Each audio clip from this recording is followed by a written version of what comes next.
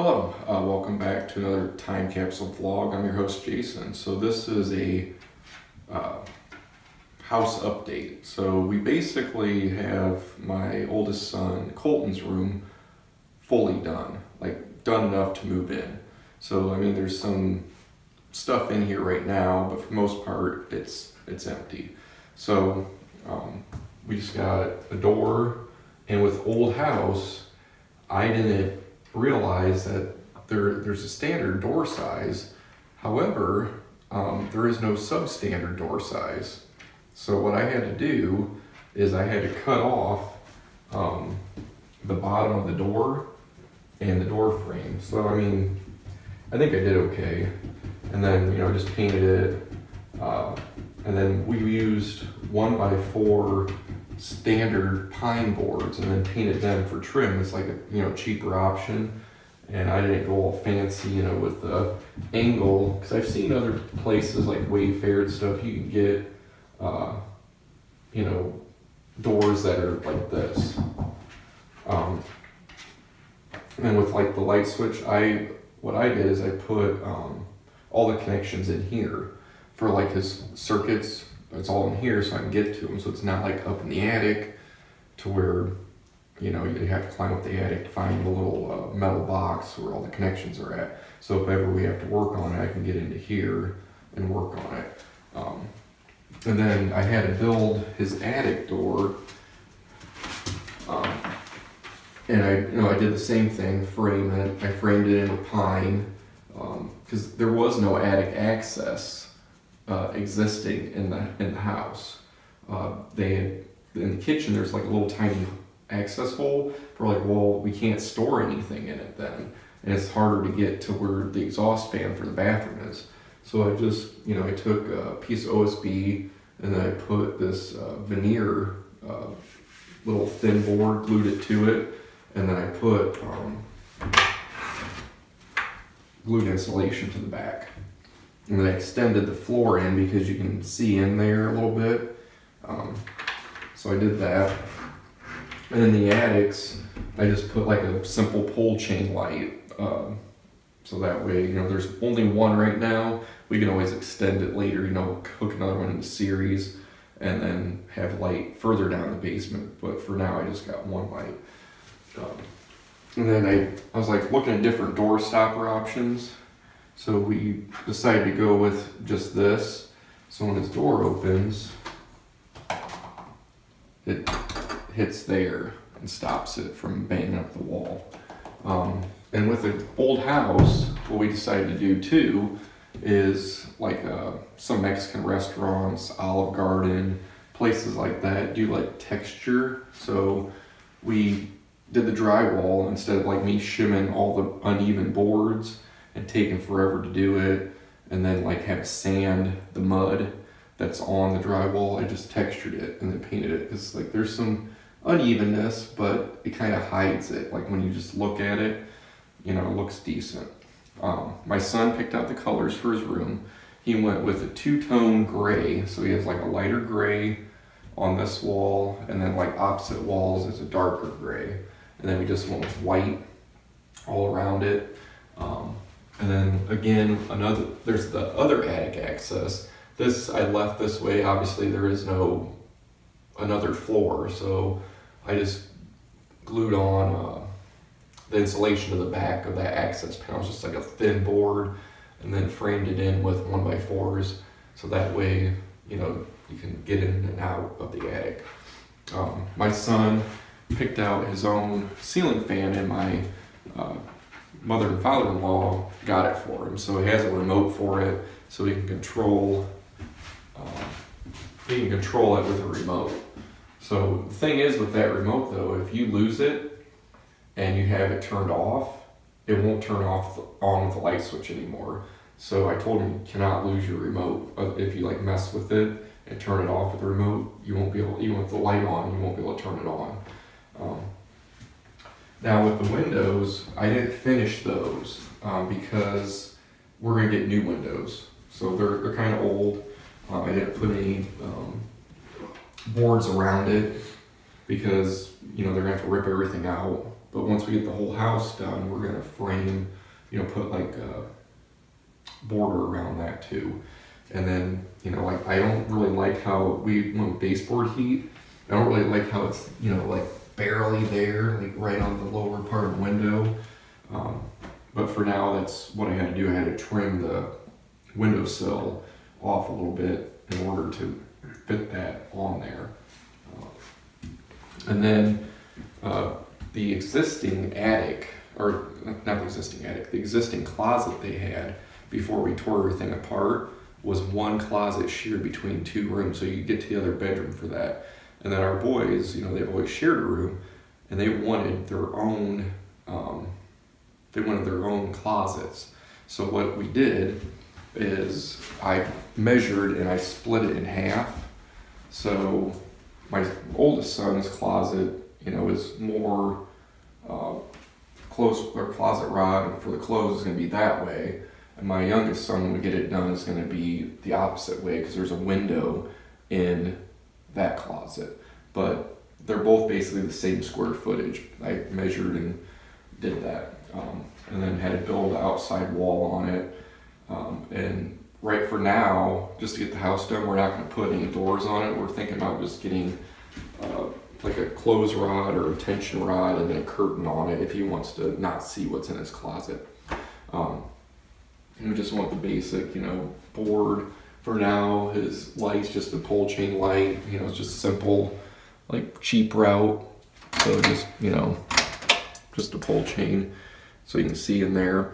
Um, I extended the trim with 1x4s all the way through just to hide any unevenness with the floor. Um, the flooring is just linoleum, um, looks like wood, so we went with that. Kind of matches what he what he has. Um, but yeah, we got you know white on the ceilings, uh, white on the trim, white on the outlets.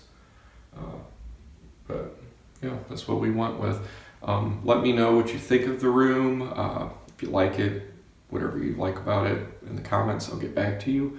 Um, and yes, this was from doing my son's my son's room, I uh, hit myself in the head uh, with a hammer. I was bent over by, um, I was bent over by this uh, attic door, putting in the finish nails, and one bent and it was stuck, and I was like kind of bent over, and I was trying to get it out, and the hammer slipped in my hand and whacked myself in the head.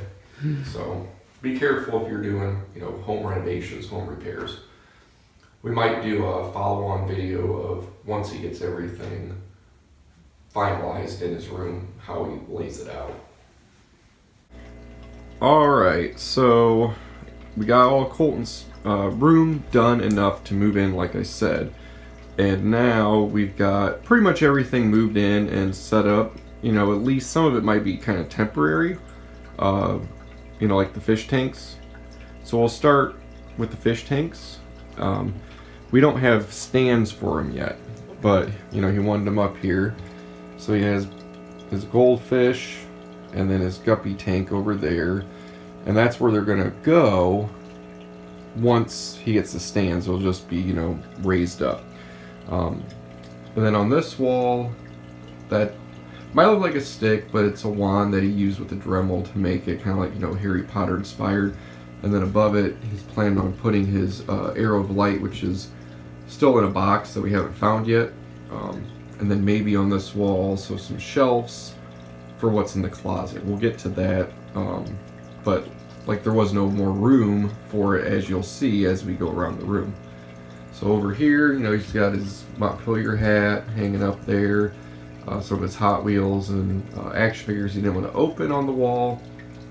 Necklaces and like uh, little collectible key rings and uh, bracelets that you get from different things, earning different things. Um, his bed is right here, so going like that.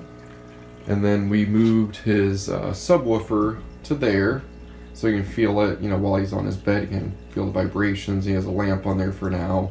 Um, we don't have like door stops yet, like to keep, because the rest of the house ain't fully finished. So like, you know, we're gonna get uh, one of those door things that go there. So we just are using a blanket for now. Um, on the wall, he's got his right speaker. You know, we kind of just followed it along. Little basketball hoop. Um, and then he has some LED strips going, you know, around as far as they would go that way, around the closet uh, or the attic access door, um, and then those stereo lights or stereo wire goes to that. That that does it. So there's one going over to the left speaker also. Um, his TV stand. So he's got his big TV bought with his paycheck money, little bank up there, cup with some knickknacks, his uh, Technic Dom's Charger Lego set right there, his video games, some books, like Pop, awards, his Xbox, um, and miscellaneous electrical stuff there, uh, baseball cards, DVDs, a uh, little decoration of a deer. Um, LED strips, you know, go over that and then go around. He's got like clock up there, some incense burners, diffusers, um, some of those uh, Ty Beanie Babies, like that princess one I gave to him before, like when it was worth nothing. Now I think they're worth a lot. but because like that was back from when I was a kid. Uh, he has some mini brand stuff, a little engine he built that works, um, some Legos, uh, some other uh, cactuses there, uh, Knight Rider, the pursuit mode that actually works, and it's like worth a lot of money now. Um, some of his uh, die-cast cars, like die-cast model type cars there and there. Um, and then these are plates that his grandmother gave him. And then he has uh, a collectible spoon up there.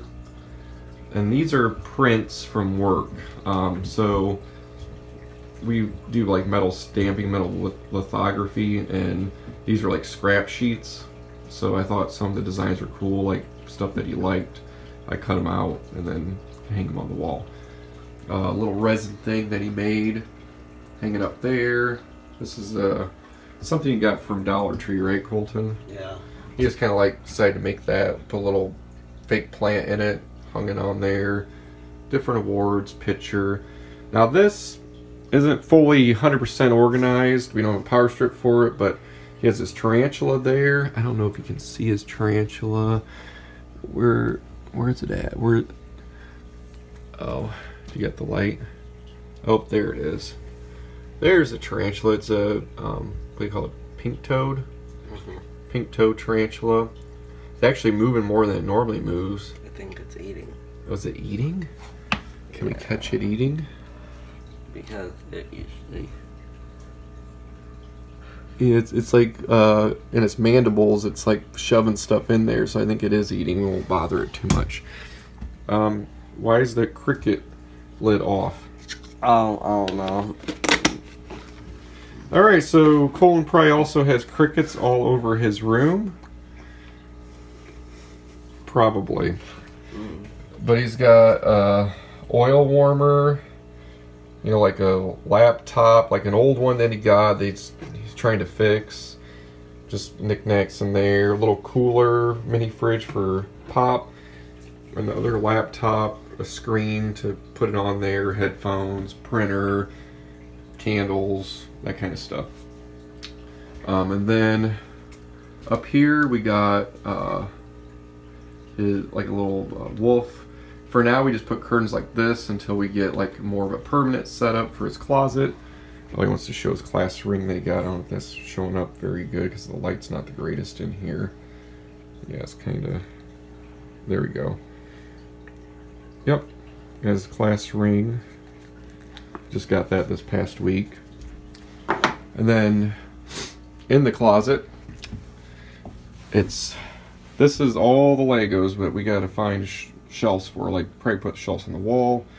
And then he's got like little uh, science things we just stuck in a box. His scooters back there, his BB gun, clothes. Not all of them are in here yet. Um, and then the L- other LED strip follows around there. Um, but yep, that's pretty much how his room's all set up.